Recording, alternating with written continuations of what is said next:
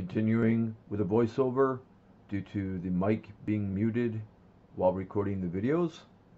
On the other hand, if you have the absolute value of 7x is greater than negative 28, well,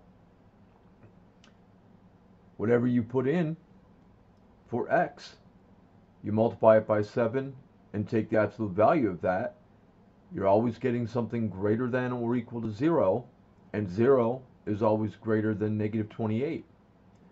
So all real numbers are solutions to this one.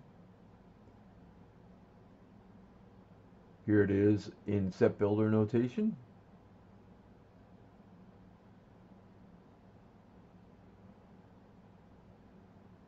On a number line graph, everything would be shaded.